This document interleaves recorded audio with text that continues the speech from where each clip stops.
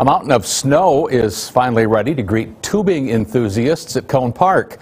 Tonight is the kickoff of the season for Sioux City's Tubing Hill.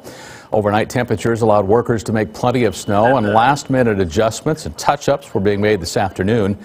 Parks and Rec Coordinator Rachel Eskins is reminding park goers to make reservations early as the schedule at this time of the year fills up quickly. We do typically sell out, especially during Christmas break and on the weekends. Um, we're in high demand, um, especially this year. Now, you know, COVID's kind of um, a big part of it, but we are back up to our capacity of 250. Eskin said that a few reservations remain open for tonight's opening.